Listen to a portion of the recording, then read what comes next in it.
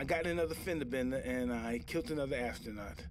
I mean, I got in a fender bender, and as a result, another astronaut was killed. No, wait. I think he might be all right. Hold on one second. He's trying to speak, but I can't hear him. Nope. Man, that means 11 astronauts.